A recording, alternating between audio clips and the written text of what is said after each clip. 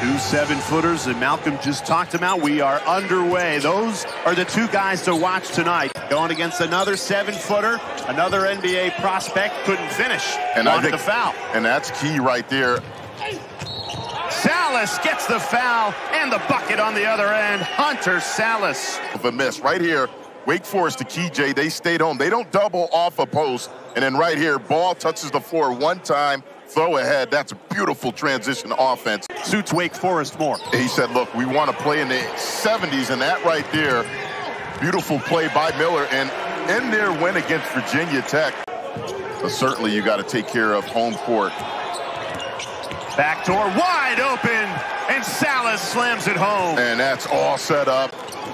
Hands off for Harris. Triple team, kicks it out, post a three. Money! I said it. Uh, Brad Stevens. It's just their second game in 22 days. Wake Forest, meanwhile, they just played Saturday and they won 86-63 to Virginia Tech, but Efton Reid going to Quinten Post, passes out of the double team. Boopie Miller in attack mode, fading away, hits it. Beautiful footwork. Here's Reid. Couldn't hammer it home. Post got in front of it. BC going the other way. A league bay with a rack attack. Might need to check the rim. My goodness, showing off the hops and strength. I think right now they're going to have to send somebody, if not double, at least try to dig and show like you're helping. Sallis, count it, plus the foul. Shot clock down to eight. Harris, step back three. Got it! Miller, a deep three. He's got range. Boopie Miller. Boopie Miller bringing Wake Forest back in a Two possession game. Quinten Post, who has it here, has been the go-to guy. Rejected by Reid. Miller up ahead. Sallis, acrobatic. The catch and finish. And Wake Forest is back within one.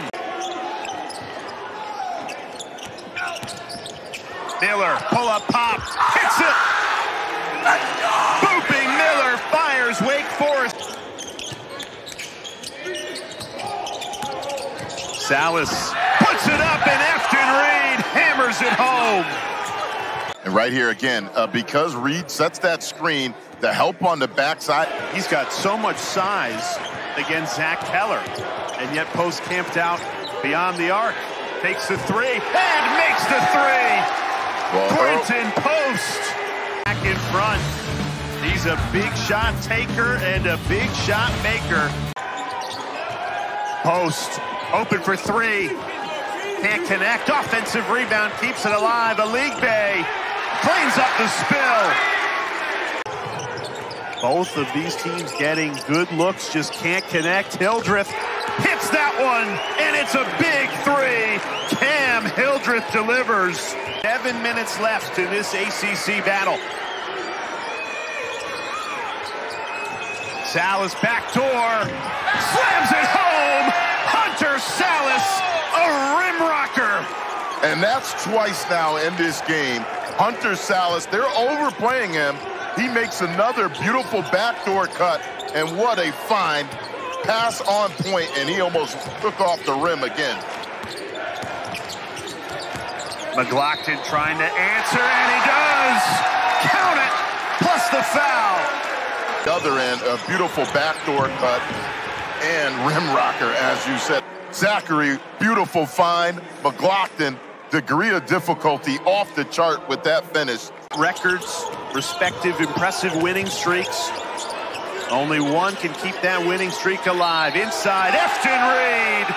Seal of the smaller uh, player. That's two guards on him and one. Now they trail by eight. They need this three desperately.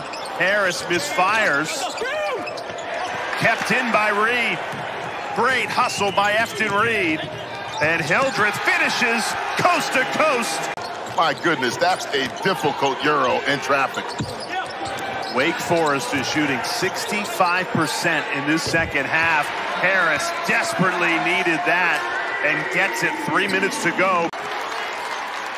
Under two minutes left. Boston College has life. Harris, count it! Plus the foul! Almost from the logo and one. Four-point play. And my goodness, he has caught fire. Harris, the hot hand, pull up, pop, got it! Claudell Harris has taken over. Stolen away, Hildreth!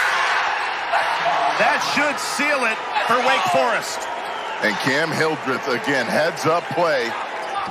Come up with the steal, and it has been a complete team of performance. Everybody has chipped in. Boopie Miller, Reid, uh, Hunter Sallis, Steve Forbes has got to be pleased.